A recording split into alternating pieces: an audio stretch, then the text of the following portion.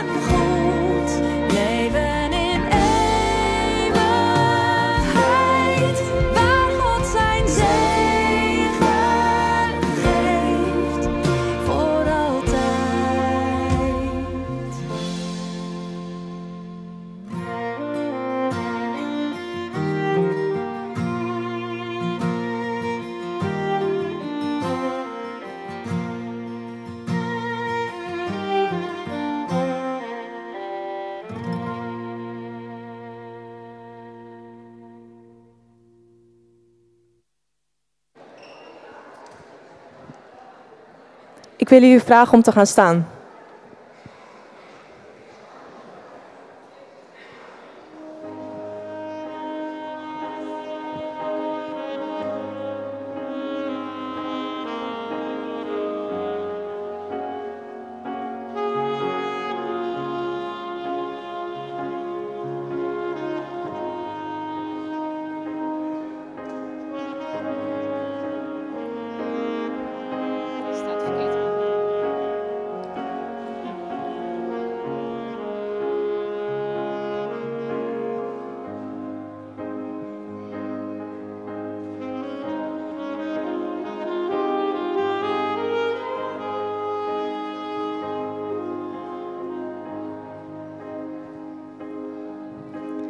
Laat het thuis gevuld zijn met wierook van aanbidding.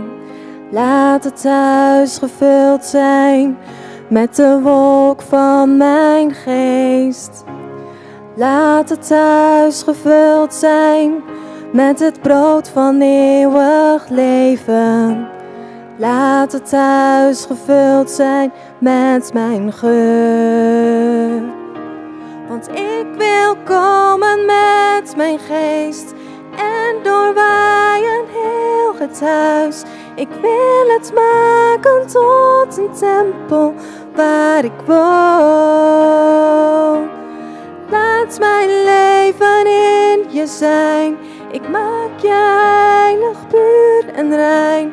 Laat het levend water stromen door je heen.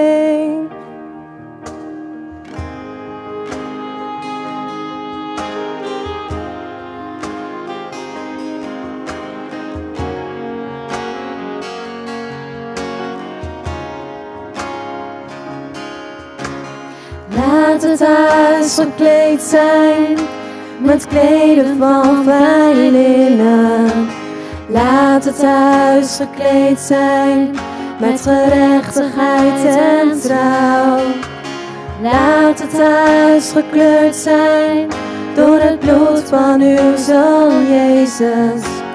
Laat het huis gereinigd zijn en schoon. Want u wilt komen met uw geest en doorwaaien heel het huis. U wilt het maken tot een tempel waar u woont. Laat uw leven in ons zijn. U maakt ons heilig, puur en rein. Laat het levend water stromen door ons heen.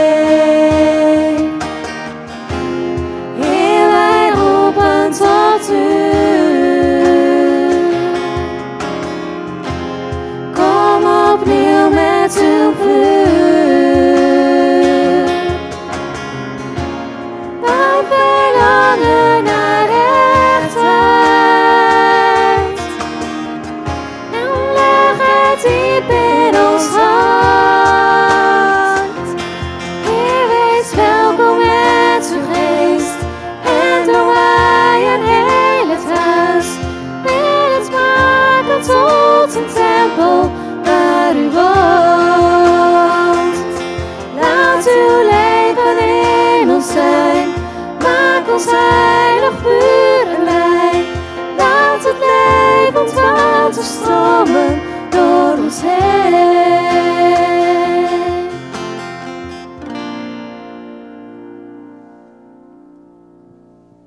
En jullie mogen weer gaan zitten als je wil.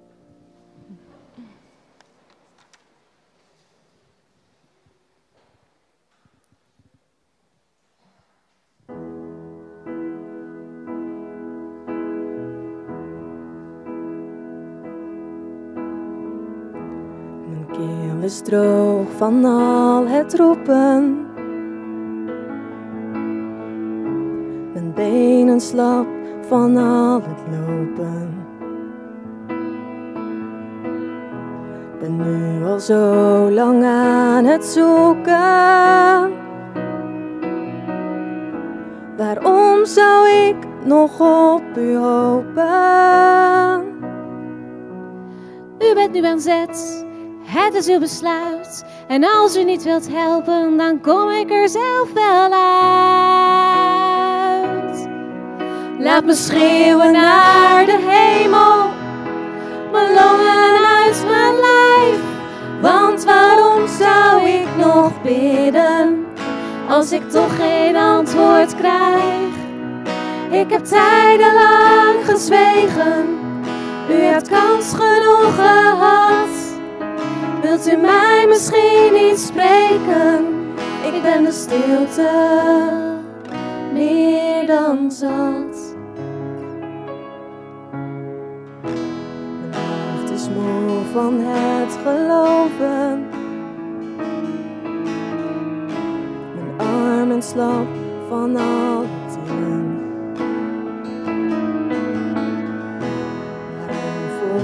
Me zo bedrogen? Waarom blijft het zo stil van binnen?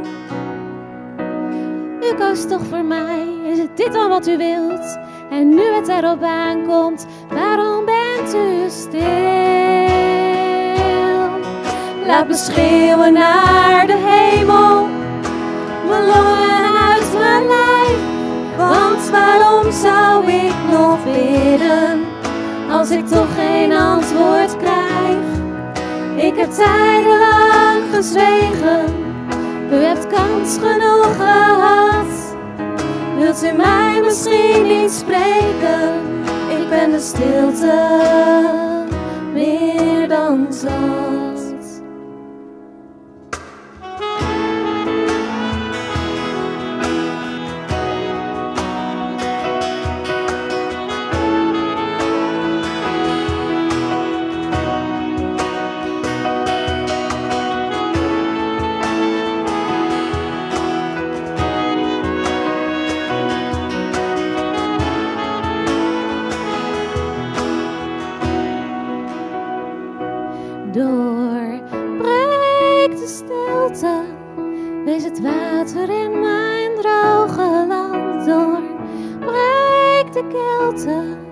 In mijn hart, mijn ziel en mijn verstand. Ik heb u nodig, kom alstublieft een stukje dichterbij. Ik heb u nodig, zonder u is alle kans op hoop voorbij.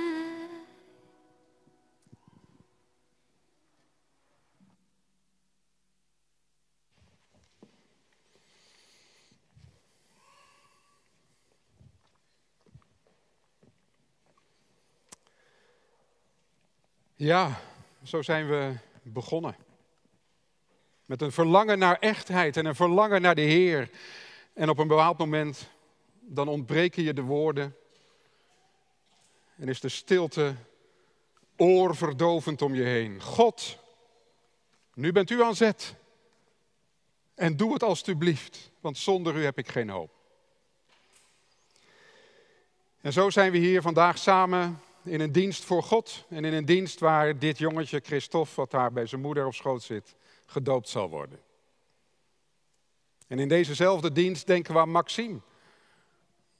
Die al bij de Heer is en die we moesten begraven. Een paar maanden geleden. Dat is de werkelijkheid waarover we spreken. En in die werkelijkheid zoeken we God. Onze Heer Jezus Christus.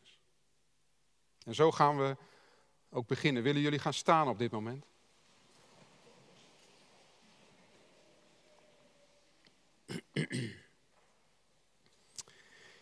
Heer, onze Heer, hoe machtig is uw naam op heel de aarde. Kijken we naar de hemel, naar de sterren en de zon en alles, de maan. Hoe groot is uw naam en wie zijn wij, stervelingen, dat u aan ons denkt. En daarom zingen we hier met elkaar.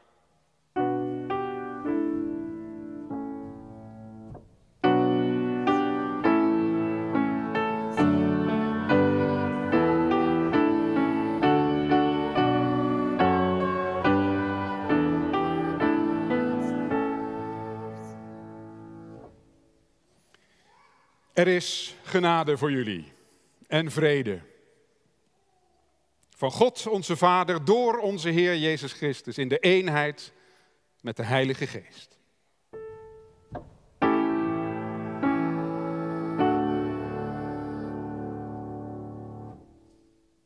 En we zingen verder.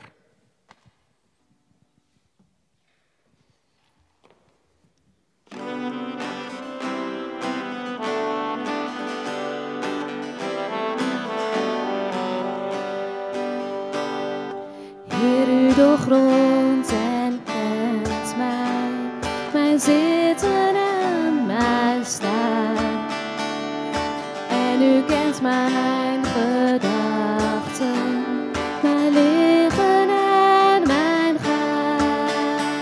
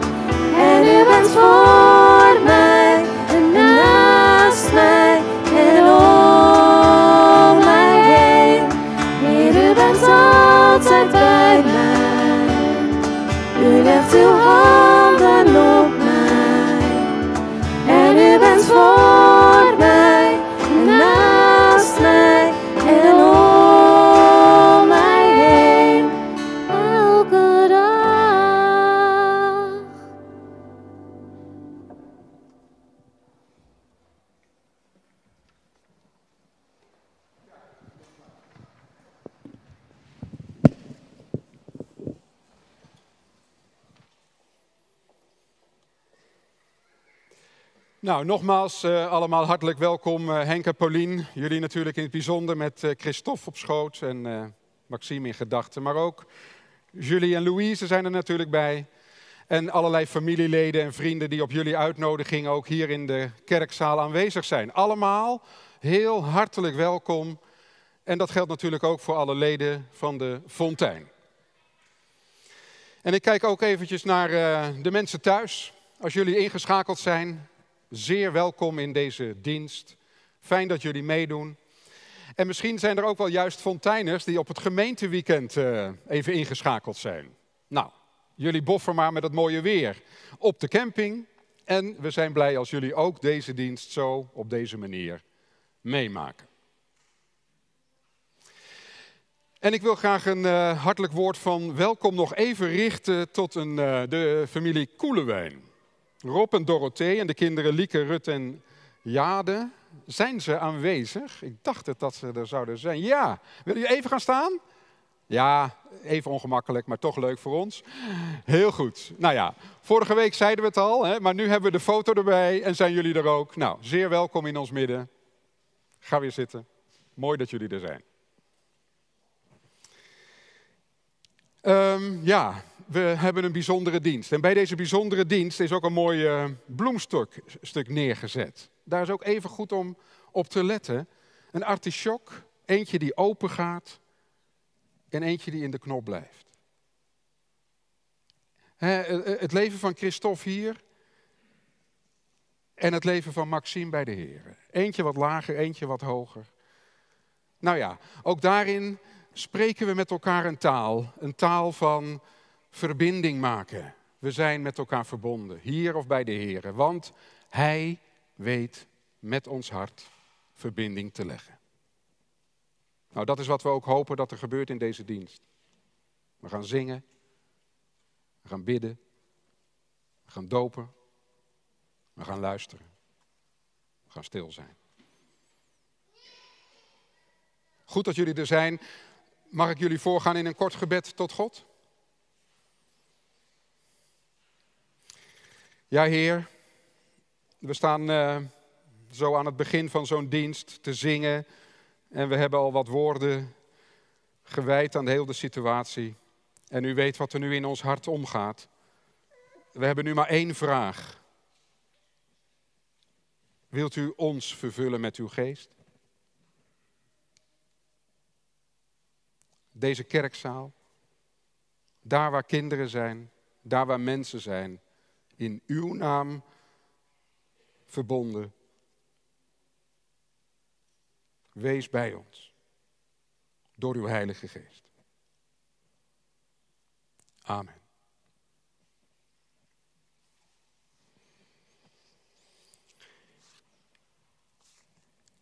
Ik uh, ga zometeen Christophe dopen. Maar daar wil ik eerst eventjes wat aan, uh, aan inleiden. Pak er eventjes mijn briefje bij.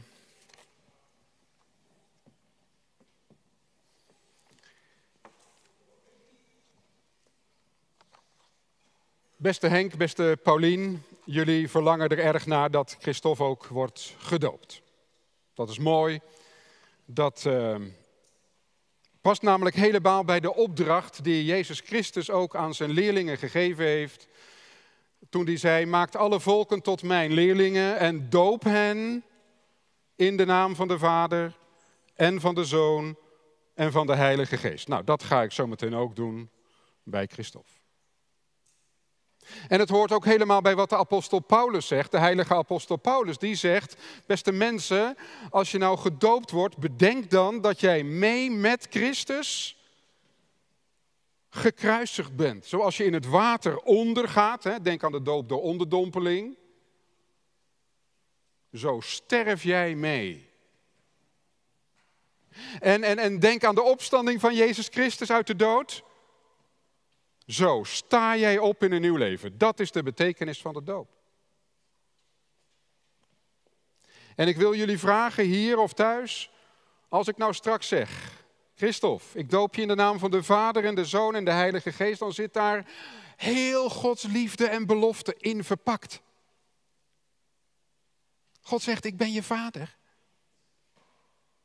En ik zal al het goede aan je geven wat je nodig hebt. Ik zal heel veel kwaad van je weghouden. En, en, en weet je, als het kwaad ook echt in je leven komt, beloof ik als God de Vader dat ik het zal laten meewerken ten goede. En Jezus Christus, de Zoon, die zegt, weet je, onthoud maar, je bent met mij gekruisigd. Al je slechtheid, al je zonden zijn met mij aan het kruis gegaan. En je staat op in een nieuw leven door mijn Heilige Geest. Ja, en dus word je ook gedoopt in de, in de naam van de geest. De geest van Jezus Christus. Die je leven kan vernieuwen. En je kan helpen om in dat nieuwe leven dagelijks te leven. En kijk, Christophe heeft daar geen enkel benul van. Maar als je hier als volwassene zit of als jongere zit en jij weet dat je gedoopt bent, zul je onthouden dat dat over jou gezegd is. En dat je die doop dus dagelijks, bij wijze van spreken, kan gebruiken om te bedenken: oh, ik heb God als Vader, Jezus als Redder en de Geest als mijn vernieuwer. En als hier mensen zijn die zeggen: hé, hey, ik ben helemaal niet gedoopt. Of als je zit te kijken en je denkt: nou, ik ben niet gedoopt, wat dan? Nou, dan zou ik je willen uitnodigen om eens goed na te denken of dat ook in jouw leven de werkelijkheid kan worden. Ga eens op zoek naar wat Jezus Christus te betekenen heeft. En daar hopen we ook in deze kerkdienst meer over te zeggen. Nou, als dat nou kort en krachtig eventjes de bedoeling is, zometeen bij de doop, dan uh, gaan we voordat we dat gaan doen, ook nog even kijken naar een korte film. Of eigenlijk is het een slideshow met foto's van wat er allemaal gebeurde eind april dit jaar, toen Christophe en Maxime geboren werden en we, en Maxime moesten gaan begraven. Kijk even allemaal mee.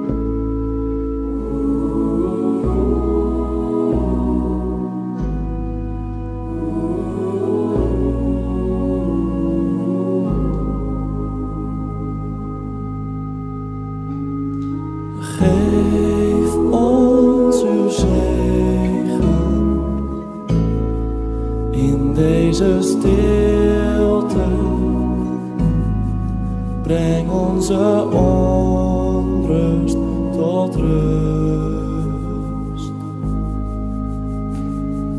Geef ons uw zegen in deze stilte. Breng onze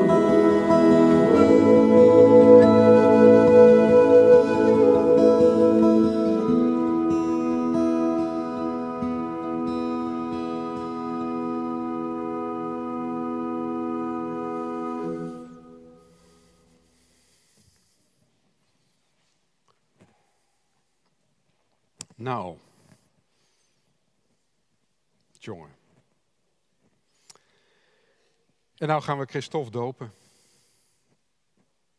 En nou wil ik alvast de kinderen die zometeen eh, het lied na de doop gaan zingen, die mogen alvast op het podium klaarkomen staan. Want kinderen gaan zometeen, uh, Veerle komt en uh, Jente en oh, Lente. Oh, jongen. En, en, Julie natuurlijk, die weet het. Louise, kom je er ook bij? Nee? Nou, zijn er nog kinderen? Het is trouwens het liedje, dat is wel aardig om even te vertellen. Je hoeft niet bang te zijn. Zijn er kinderen in de kerk die dat ook kennen? Je hoeft niet bang te zijn. Als je dat kent, mag je ook nog wel naar voren komen als je wil hoor. Nou, weet je, laat maar. hey, nog eventjes voordat we gaan beginnen. Dat mooie kaartje, hè? Die twee tekeningen, heb je die al gezien? Ja. Wie is, van wie is deze, denk je? Van Christophe. Ja, en deze is van? Ja, en waarom is nou deze zo? Ja, hij is al in de hemel. Hè? Kijk met dat mooie wolkje en die maan, dan zit hij daar te schommelen. Maar dit is ook mooi, toch? Dus van Christophe. Wat, is, wat, wat zie je op de... Hè? Hij zit naar uh, Maxime te kijken. Ja, hij zit naar Maxime te kijken. Nou, is dat mooi? Nou, daar gaan we straks over zingen. Hè, dat we met elkaar verbonden zijn en dat je bij de Heere Jezus nooit bang hoeft te zijn.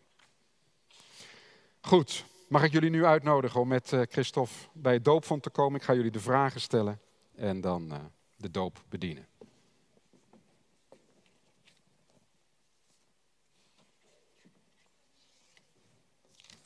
Um, nou, daar maar. Ja. nee, het maakt ook helemaal niet uit. Dus, uh... Goed, voordat wij gaan dopen, stel ik jullie, Henk en Paulien, de vragen die bij de doop horen. En daarin spreek jullie verlangen uit om ook voor jullie kind, Christophe, de doop te ontvangen. Dat doen we dus niet voor de uiterlijke vorm of uit gewoonte, nee, echt een bewuste keuze. En daarom graag antwoord op de volgende vragen. Jullie kinderen zijn één voor één prachtige en unieke schepsels van God. Maar ja, ze zijn geboren in een wereld waar zonde en gebrokenheid heersen. En daar hebben ze zonder het te weten ook deel aan. En zonder Christus zou hun leven geen toekomst hebben. Geloven jullie van harte dat jullie kinderen, dankzij het offer van Christus, voor God heilig zijn? En geloven jullie dat de doop de manier is waarop zij nu als lid in de gemeente van Christus worden ingelijfd? En beleiden jullie dat de Bijbel Gods verlossende woord is, zoals de kerk dat in de apostolische geloofsbeleidenis uitspreekt, en zoals wij dat in deze gemeente ook leren?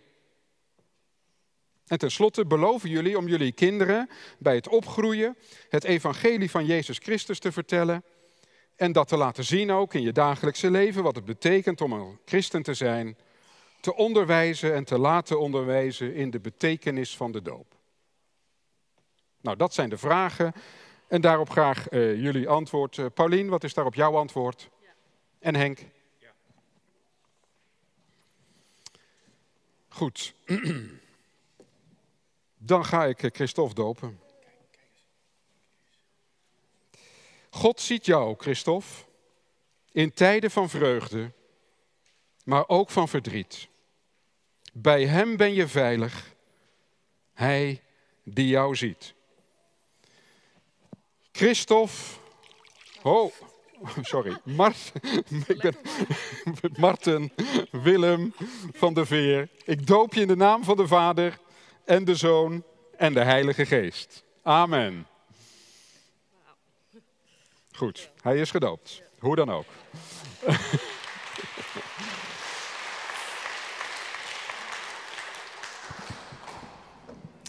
We gaan zingen. En je mag allemaal meezingen hoor, wat mij betreft.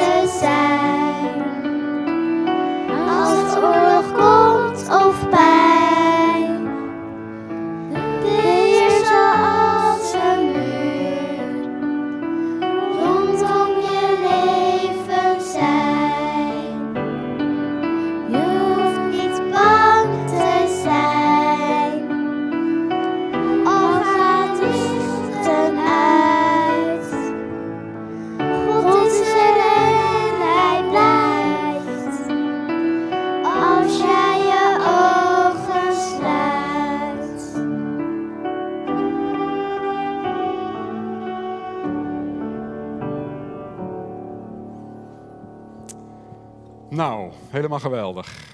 Ga maar weer zitten. Jullie kunnen ook weer uh, plaatsnemen.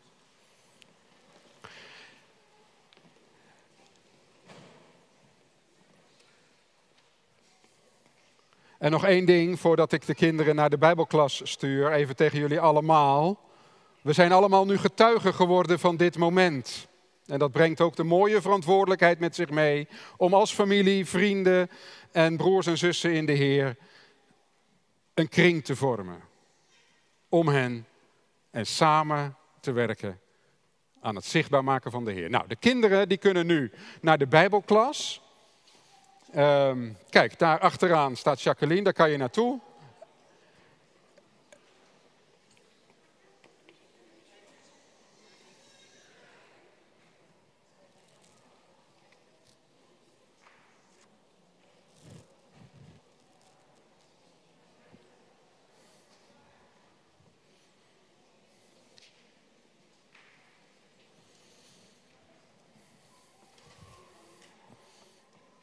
Ja, en dan uh, geef ik jou het woord, Anton.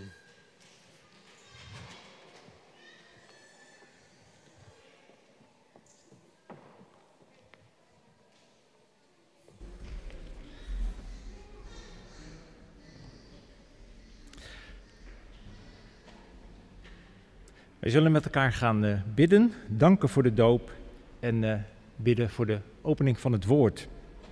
Ik ga u voor in gebed. Grote heilige God, dank u wel dat we zo bij elkaar mogen zijn, dat we getuigen mochten zijn van de doop van Christophe. En uh, het is al genoemd, het is een, een dubbel gevoel, het is een hele mooie feestelijke dag. En ook het pijn, het gemis van Maxime die er niet is. De troost die er is dat hij bij u is, dat zal ons vast verder helpen. Maar ik wil u bidden voor Henk, Paulien, jullie, Louise, Christophe, wilt u erbij zijn in dit gezin? We hebben dat ook met elkaar gezongen, dat u er altijd bij bent. Misschien ervaren we dat niet altijd zo in ons leven. Is er stilte? Is er afstand? Zijn er vragen? Maar geef, Heer, dat die troost mag zijn, dat we weten dat uw aanwezigheid in ons leven niet afhankelijk is van hoe wij ons voelen, maar dat we troost mogen ervaren dat u erbij bent. Wilt u erbij zijn in dit gezin? Wilt u ze zegenen als een goede God en Vader? Wilt u Christophe zegenen dat hij mag opgroeien in een gelovig gezin, dat hij mag ontdekken wie u bent, de grote God, een almachtige God, een goede God, die voor hem wil zorgen. We gaan zo meteen uit de Bijbel lezen wilt u dat zegenen en ook de verkondiging van het woord door Simon wilt u geven dat we mogen worden gesterkt in ons geloof, dat we een goede dienst verder mogen hebben. Een dienst ook tot eer van uw grote naam, Heere God. Zo is er veel waar we u voor danken, veel wat we van u vragen. Daarbij mogen we ons beroepen op het offer van uw Zoon, Jezus Christus. Amen.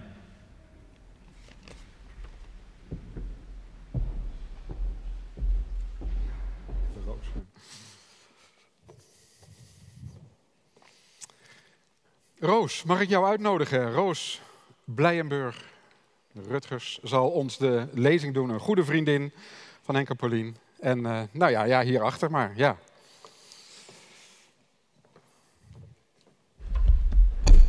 Even kijken. Hij trok rond in heel Galilea. Hij gaf er onderricht in de synagoge, verkondigde het goede nieuws van het koninkrijk en genas iedere ziekte en elke kwaal onder het volk. Het nieuws over hem verspreidde zich in heel Syrië. Allen die ergens aan leden en die gekweld werden door een ziekte of door pijn, en ook bezetenen en maanzieken en verlamden, werden bij hem gebracht. En hij genas hen. En grote groepen mensen volgden hem uit Galilea en Decapolis, uit Jeruzalem en Judea en uit het gebied aan de overkant van de Jordaan. Toen hij de mensenmassa zag, ging hij de berg op. Daar ging hij zitten met zijn leerlingen om zich heen. Hij nam het woord en onderrichtte hen. Gelukkig wie nederig van hart zijn, want voor hen is het koninkrijk van de hemel. Gelukkig de treurende, want zij zullen getroost worden. Gelukkig de zachtmoedigen, want zij zullen het land bezitten. Gelukkig wie hongeren en dorsten naar gerechtigheid, want zij zullen verzadigd worden. Gelukkig de barmhartigen, want zij zullen barmhartigheid ondervinden. Gelukkig wie zuiver van hart zijn, want zij zullen God zien.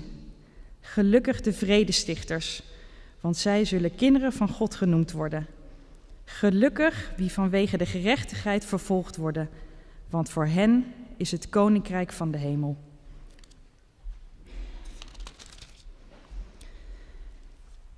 Verzamel voor jezelf geen schatten op aarde. Mot en roest vreten ze weg en dieven breken in om ze te stelen. Verzamel schatten in de hemel. Daar vreten mot nog roest ze weg. Daar breken geen dieven in om ze te stelen. Waar je schat is, daar zal ook je hart zijn.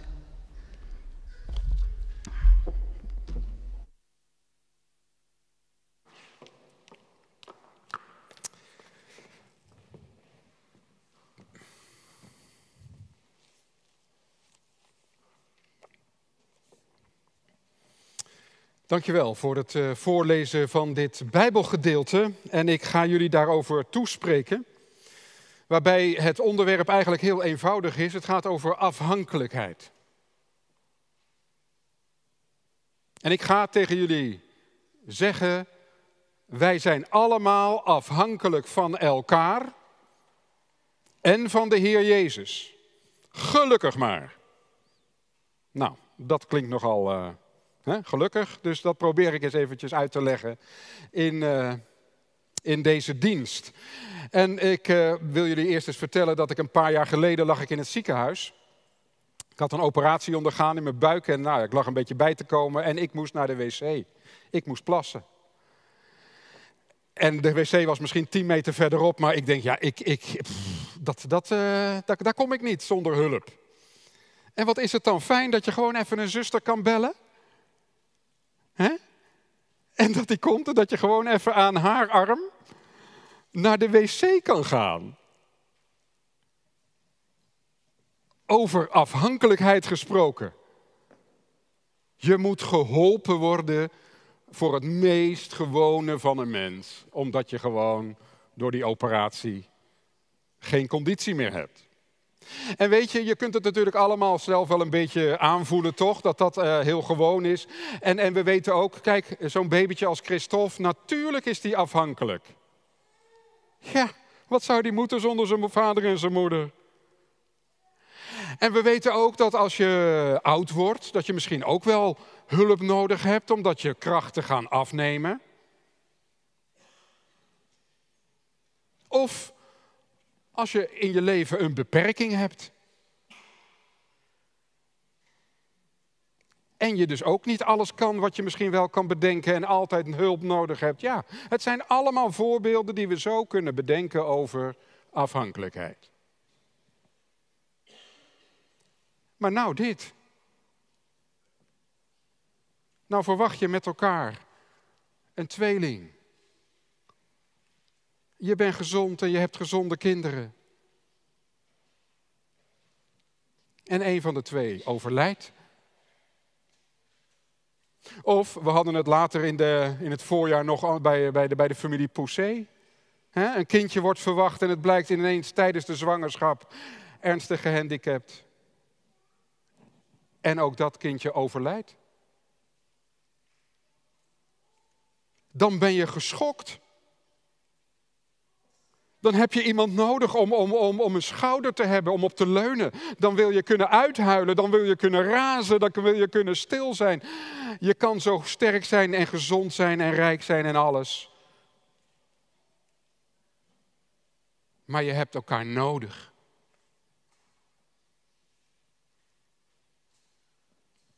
In het leven.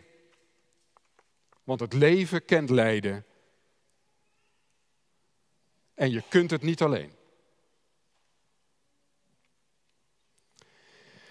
Nou, als jullie dat allemaal een beetje kunnen volgen met elkaar, dan komen we heel dicht bij de tekst die ik deze ochtend vooral speciaal eens even wil bekijken.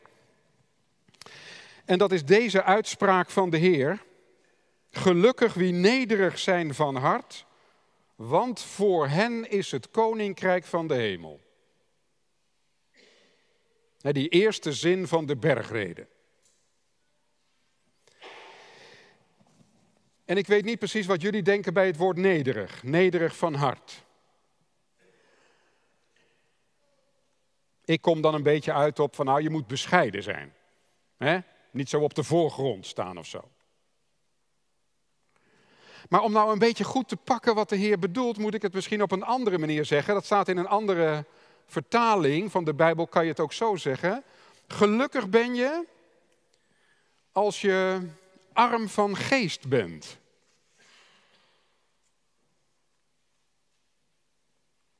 Arm van geest. En dat betekent dat de Heer eigenlijk zegt van let eens op, um, bedenk eens wat het is om arm te zijn. Gewoon weinig inkomen te hebben, elke maand. Wat betekent dat? Nou, dat betekent bijvoorbeeld dat je je zorgen maakt. Veel zorgen. Hoe lukt het ons om genoeg geld te hebben voor de, nou, de dagelijkse inkopen? En, en, en ehm, als de prijzen duurder worden van, uh, van voedsel, van je eten en je drinken, dan, ja, dan raak je bezorgd. Kan ik het wel betalen? En als je dan hulp krijgt omdat iemand een gift geeft, een maandelijkse bijdrage doet, oh, ja, dan voel je wat fijn dat is dat je dingen kan. De laatste tijd is er een spotje op de televisie, een televisiespotje, of nee, het is eigenlijk geen uh, reclame, maar dat gaat over uh, kinderen in een klas, kinderen in een groep. En dan gaat het over een kinderfeestje. Kan, uh, nou, die en die kan komen en die kan. Oh, maar hij kan niet komen. Waarom kan jij niet komen? Ja, ik heb, ja, we hebben geen geld om een cadeautje te kopen. Dus dan komen we maar niet. Voel je het? Dat doet armoede, hè? Als je niet geholpen wordt, dan raak je eruit. Dan sta je er buiten. Gelukkig ben je, zegt de Heer, als jij arm bent van geest. Als je een beetje kan voelen wat het is om niet veel geld te hebben. Want ja, misschien zitten hier ook wel mensen die zeggen van joh, ik heb geld zat. Als, hier de, als, als, als de prijzen omhoog gaan, nou ja, ik merk het eigenlijk amper joh. Ik reken het gewoon af elke week. Maakt niet uit. Ik heb geld zat, twee inkomens, gaat goed, safe. Weet je, ook dat doet wat met je hart. Want je kunt dan de gedachte ontwikkelen dat het leven eigenlijk de bedoeling is dat je zelfredzaam bent. Hoor je het? Dat je jezelf kan redden. Dat je onafhankelijk kunt zijn. En dat is wel heel erg ook de sfeer in onze samenleving hoor. Als ik het goed proef, stimuleert bijvoorbeeld de samenleving of de overheid of de belasting van jongens, zorg nou dat je twee inkomens hebt. Dat is financieel handiger, fiscaal aantrekkelijker. En uiteindelijk, als de relatie stuk loopt, ben jij, hoef jij niet afhankelijk te zijn van je ex. Onafhankelijkheid, dat is een hele hoge waarde in onze samenleving. Dus zeg maar, je kunt arm zijn van geest, maar je kunt ook rijk zijn van geest. En dat is die tegenstelling tussen weten dat je van iemand afhankelijk bent, of dat je zegt, ik kan het wel aan. En nou zegt de Heer, en daarom liet ik dat ook lezen in hoofdstuk 6, of even verderop in deze bergreden. Beste mensen, verzamel je geen schatten op aarde, hè? Gewoon heel simpel, ja, denk maar aan uh, inbraak en diefstal, je bent zo kwijt. Maar vooral, waar je schat is, daar is je hart. Dus ja, om te beginnen, beste mensen, ik weet niet hoe jullie hier zitten, of je jezelf rijk noemt of arm. Maar de Heer zegt, je hebt een voordeel als je weet wat het is om arm te zijn. En je hebt een nadeel als jij rijk bent. Gelukkig wie arm is, ja, van geest, natuurlijk. Want voor zulke mensen is het koninkrijk van God.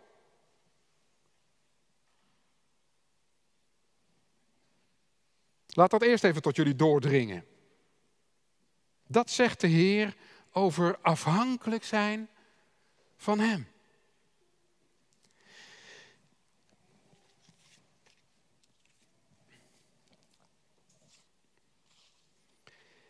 En dat is belangrijk. Want nu komen we ook dicht bij het onderwerp waar we hier ook uh, vanochtend speciale aandacht voor hebben. Want je kunt wel rijk zijn of je kunt jezelf wel goed kunnen redden. Maar soms word je door de Heer plotseling, door de omstandigheden ineens heel arm gemaakt.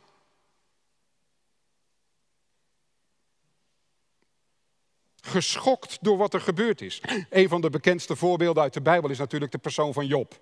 Kennen jullie Job? Die man die was echt puissant rijk. Echt onwaarschijnlijk veel had hij. Wat deed God? Die liet de duivel de ruimte om hem dat af te pakken en dat af te pakken en die uh, hups, hups, hups, hups, hups. En zelfs zijn tien kinderen, zeven zonen en drie dochters, vonden de dood. Hij werd arm gemaakt. En dan komt er naar boven de vraag, waar is mijn hart?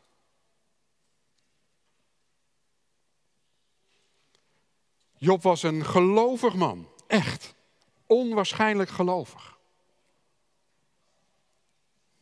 En de uitdaging is dan, als dat allemaal van je afgenomen wordt, hou je het vol met God.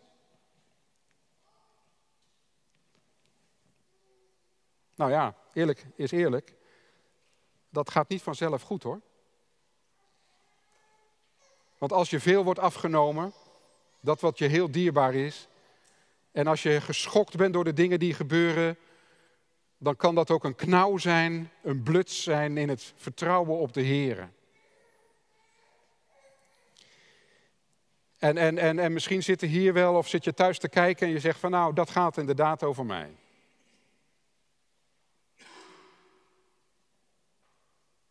Dat je arm wordt gemaakt. En dat je dan vraagt, waarom dan? Hoe dan? Een geschokt vertrouwen. Schreeuwen naar de hemel. Nu bent u aan zet. Waarom zegt u niks? Doorbreek de stilte. En weet je, het eerste wat ik dan graag tegen je wil zeggen is dat als je zo'n klacht hebt, dat dat nog steeds een teken is van geloven. Dat betekent niet dat je ongelovig geworden bent. Weet je wat ongeloven is? Dat je God begint te negeren.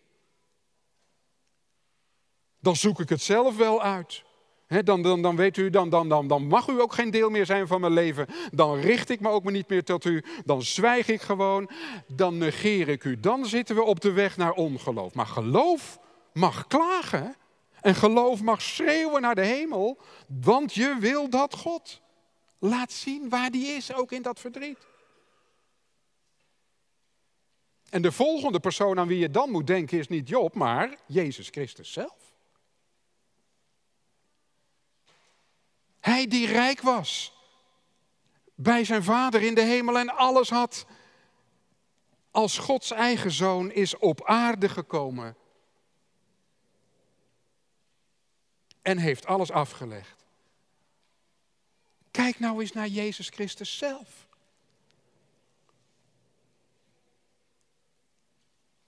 En, en, en, en, en hoe hij zijn leerlingen vertelt over het leven met God.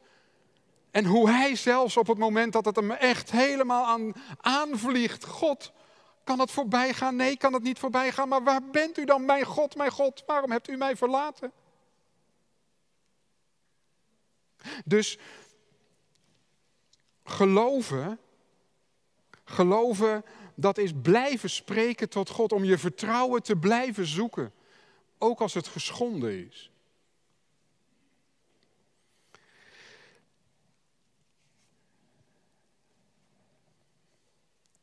En als je nou zegt van ja, maar mooi, ik, uh, ik snap dat als je uh, ja, moet lijden, dat je dan arm wordt gemaakt en dus arm van geest kunt zijn. Maar als het nou goed gaat en je bent gezond, hoe, hoe, hoe krijg je dat dan, dat arme van geest? Nou, in de eerste plaats, zeg ik, durf je mee te leven met iemand die zoveel lijdt? Met iemand die radeloos is?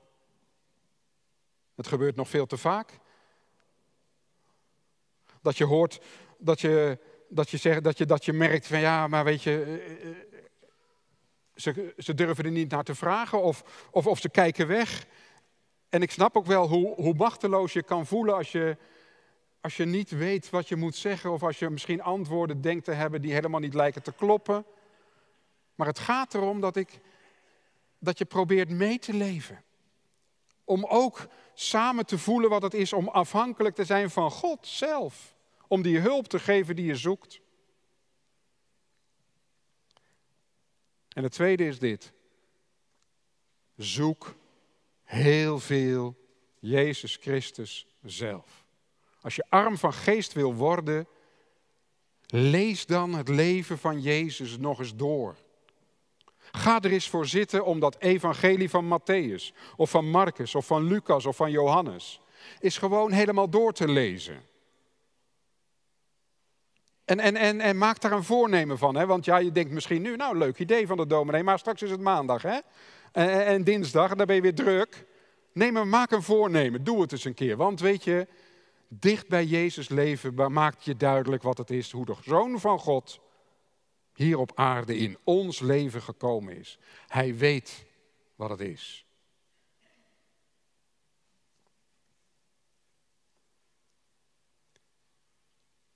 Want er kwamen mensen naar hem toe, hebben we gelezen. En die waren ziek of bezeten, radeloos. En hij genas hen. En die wonderen, soms gebeuren ze nog steeds. Hè. We kunnen soms ook mooie verhalen vertellen, maar ja, het gebeurde niet bij Maxime en dit voorjaar ook niet bij Sam. En zo zijn er vast voorbeelden die u ook zegt van ja, maar waarom toen niet? Ik weet je, ik kan niet uitleggen waarom toen wel en nu niet en, en, en, eh, en zo. Maar ik geloof wel dat dit de Heer Jezus is. En dat Hij dan zegt tegen die mensen die om hem heen kwamen zitten, Beste mensen, gelukkig ben je als je arm bent van geest.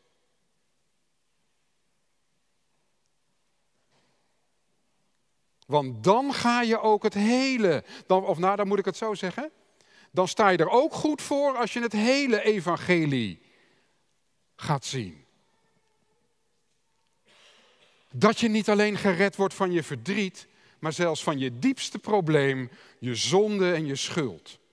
Want het evangelie van Jezus Christus, het christendom zegt, wij redden onszelf niet. Wij worden gered door Jezus Christus, dood en opstanding. Gelukkig ben je als je arm bent van geest. Om dat te kunnen gaan ontvangen.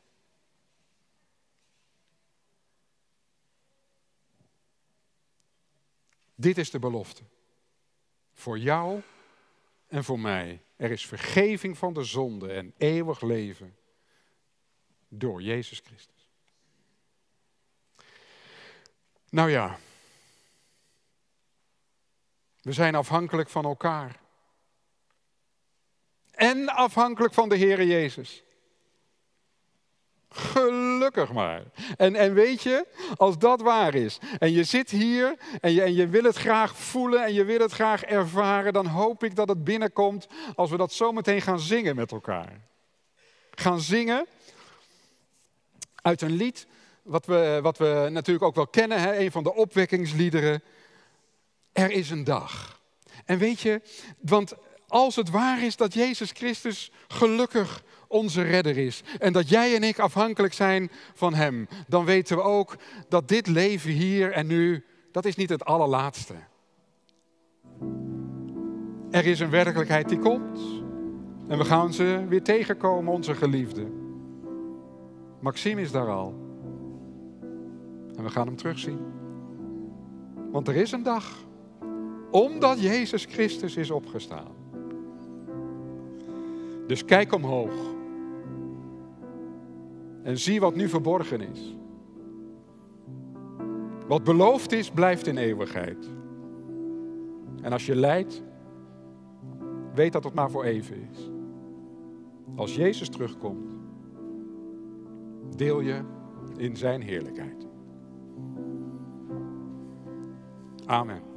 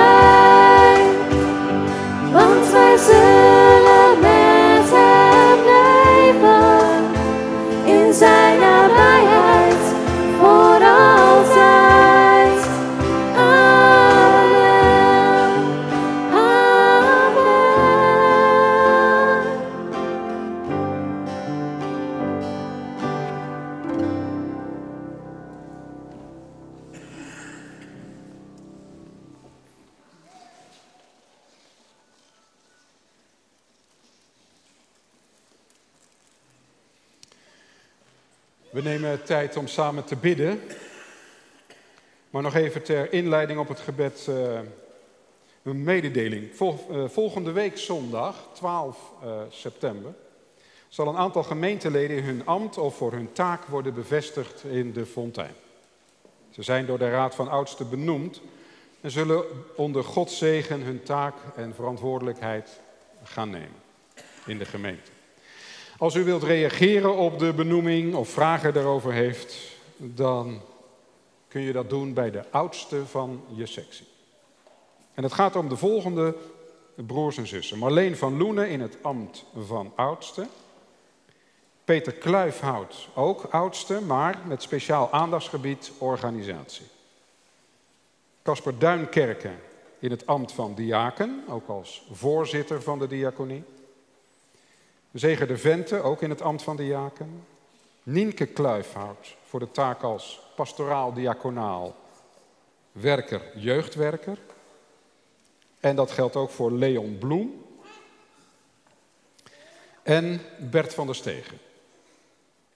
Die op dat moment, de twaalfde, niet aanwezig zal zijn, kan zijn, maar een week later wel. Dus dan zullen we hem dan bevestigen. Goed, we gaan eh, bidden met elkaar. Aan het slot komt er een gebed wat waarschijnlijk ook gebeamd zal worden. Dat kunt u hardop meebidden als u wilt. Ehm, maar goed, we gaan eerst samen tot God en ik mag jullie daarin voorgaan.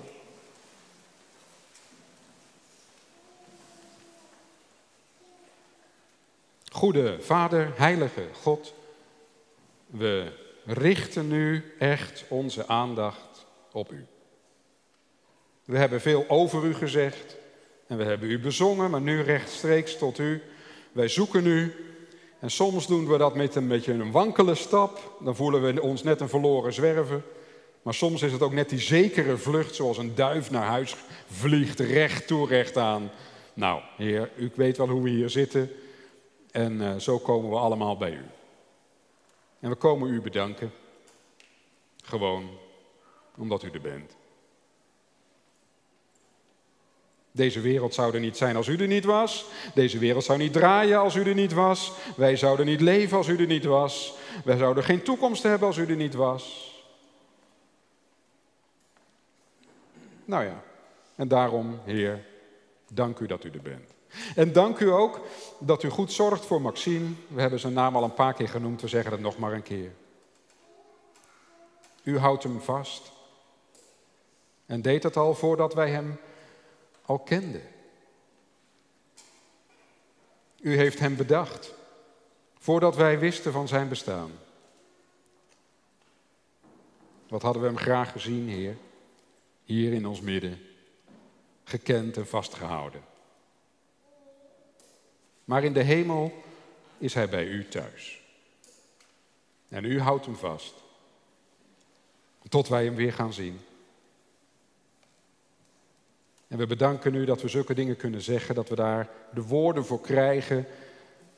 En nou, Heer, ons gevoel gaat misschien niet altijd mee, maar dit is wel wat we echt daarover willen zeggen tot u. Omdat we weten dat u ook alle mensen die gestorven zijn veilig ontvangt. En dat geldt ook voor kinderen. We denken ook aan Sam, die uh, dit voorjaar al bij u kwam. Sam Poussé. En als we hier zitten of thuis luisteren, dan weten we misschien allemaal wel mensen voor wie uh, we nu kunnen bidden. Omdat we verdrietig zijn, omdat we geliefden verloren hebben, Misschien na een lang leven, misschien na een kort leven. En dan danken we u dat er mensen om ons heen zijn of waren die ons dan even die schouder kunnen bieden om op te huilen of om samen mee stil te zijn. Want Heer, daar hebben we het net over gehad. Afhankelijk zijn van elkaar en van u, dat is gelukkig maar waar. En ons gebed is dan ook dat we niet eenzaam zijn. Want dat is misschien wel het ergste. En juist misschien als het heel druk is om je heen, kan het wel eens zijn dat je je toch eenzaam voelt omdat, je niet, omdat het niet lukt om je hart te uiten. En dat is wat we zoeken om ons te kunnen uiten in welke gevoelens we ook hebben.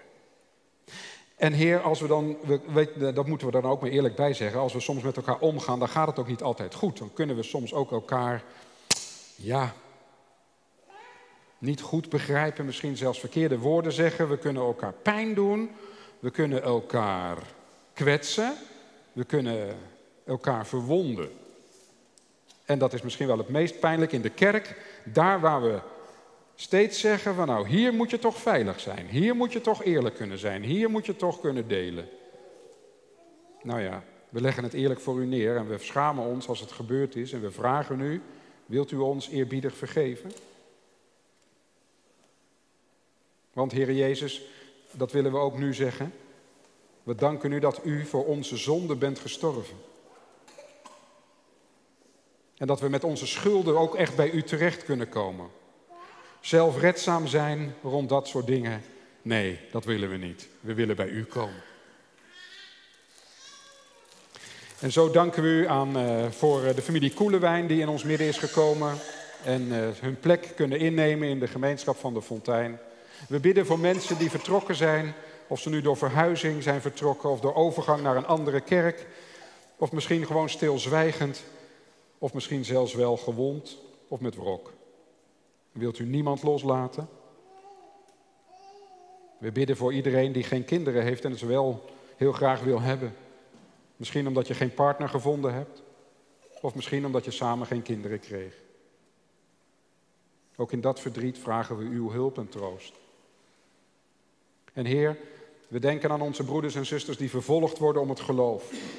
U heeft zelf gezegd, gelukkig ben je als ze jou om mijn naam dwars zitten. Bedenk maar, dat hebben ze al zo, veel, zo vaak gedaan in de geschiedenis. En ik ben bij je. En Heer, in deze wereld waarin er zoveel aandacht gaat naar het Nederlands elftal of naar Zandvoort met de Formule 1 en je denkt van wat is dit voor een gekke wereld? Waarom gaat alles over de vraag van hoeveel mensen kunnen er bij elkaar komen om, om vertier te zoeken? In die wereld zijn we hier. In die wereld zoeken we u. Soms met een wankele stap als een verloren zwerver. Soms met de zekere vlucht van een duif op weg naar huis. En zo eindigen we, Heer, ons gebed met deze woorden. Heer, help de man of de vrouw die zou willen bidden, maar het niet kan. Aanvaard hun verlangen om te bidden als een gebed. En luister naar hun zwijgen en ontmoet hen daar in hun woestijn.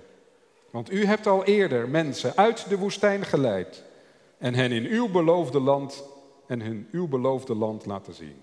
Heer, hoogste koning, hoogste Heer, koning van de koningen, dit bidden wij u. Eerbiedig. Amen.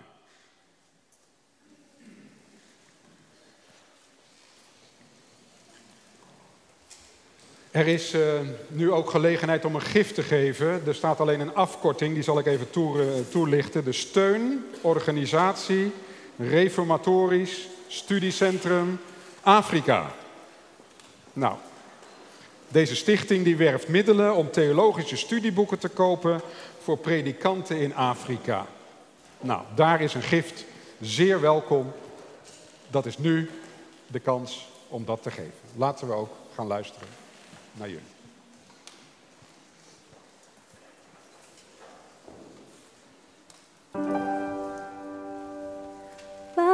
verschijnt, wordt alles nieuw.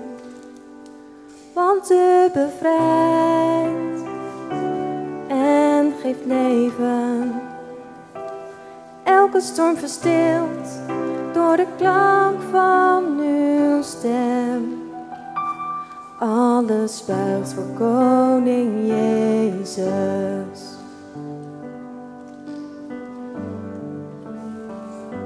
U bent de held die voor ons strijdt. U baant de weg van overwinning. Elke vijand vlucht, ieder bolwerk neer. Naam boven alle namen, hoogste Heer.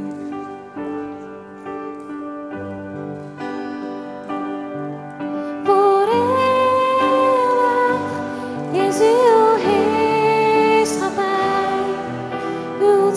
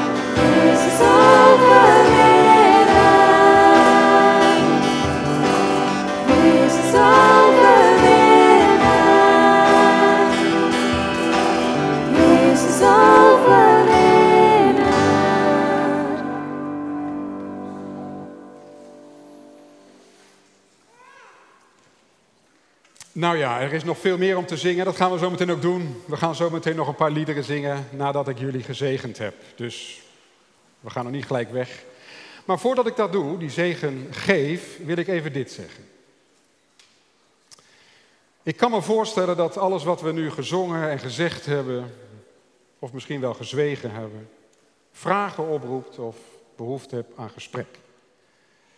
Als je dat wil doen, ik blijf hier even op het podium na de dienst en ben je welkom om met me door te spreken of ook een gebed te vragen. Misschien denk je er pas later aan en ben je er dan mee bezig, maar soms helpt het om het gewoon maar gelijk te doen. Dus ik wil het je graag aanbieden. Om te kunnen reageren direct na de dienst. Ook de kijkers thuis wil ik graag eh, het goede toewensen. We gaan uh, afscheid nemen door uh, nou, de zegen te geven en nog verder te zingen. Maar ook jullie een goede tijd verder. En we hopen dat ook deze dienst jullie dichter bij God heeft gebracht. En zo wil ik jullie nu vragen om hier in de kerk te staan, te gaan staan om de zegen van God te ontvangen.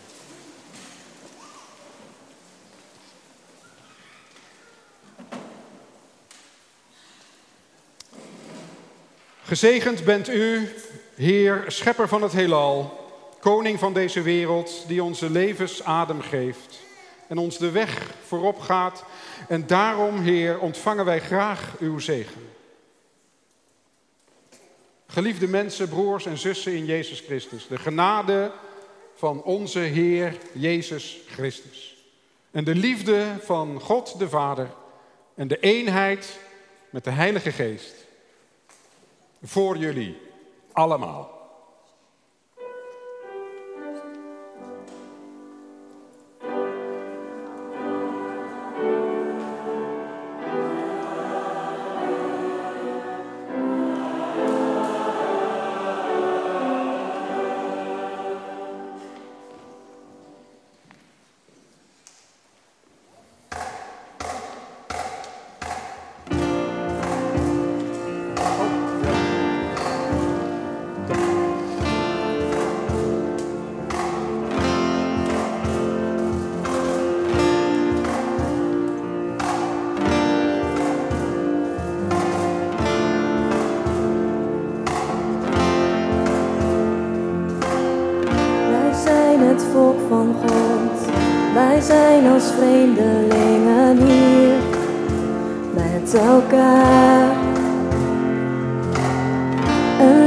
Lang te gast.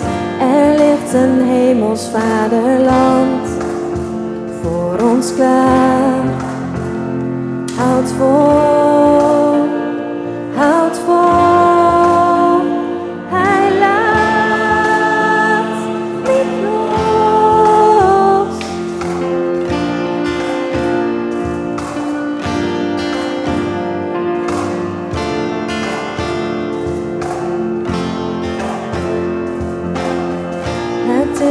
zegentocht van heiligen en twijfelaars bij elkaar. Maar kijk, wij lopen nog, wij lopen wat God heeft beloofd. Achterna.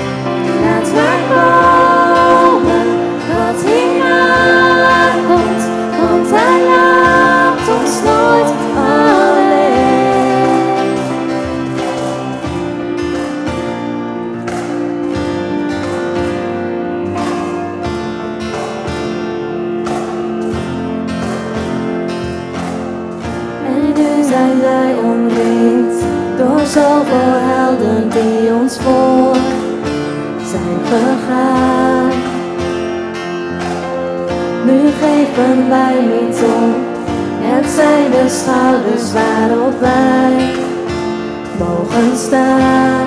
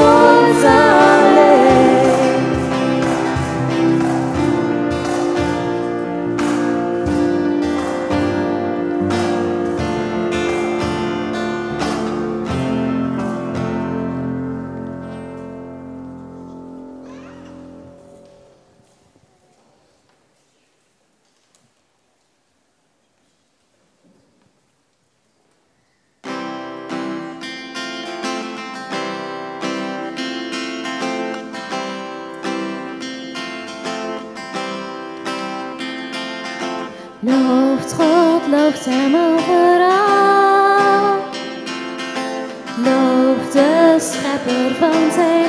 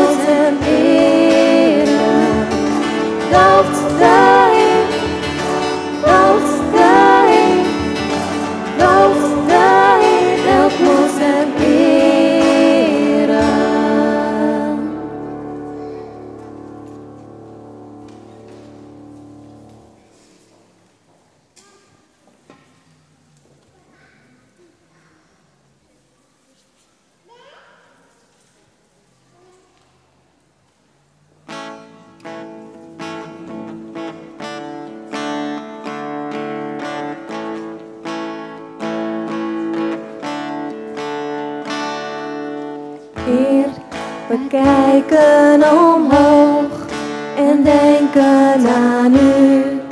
U was hier bij ons en wij.